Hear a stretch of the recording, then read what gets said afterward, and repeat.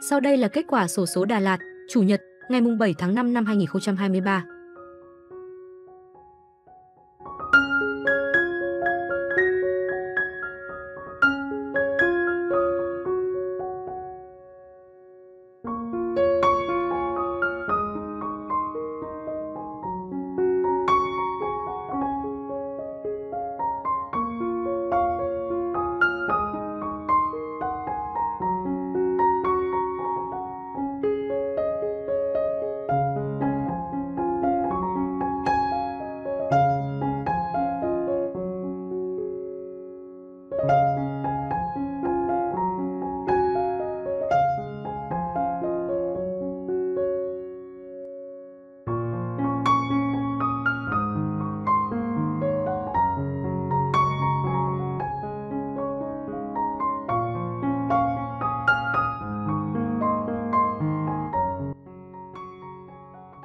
Kênh sổ số miền Nam, kết quả sổ số hôm nay.